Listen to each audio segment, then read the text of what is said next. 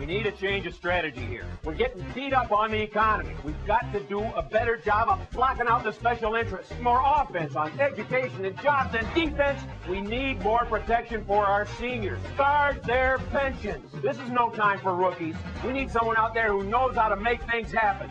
But who, coach? Blanchard, suit up. Jim Blanchard back with a winning economic plan for everyone that will get Michigan working again.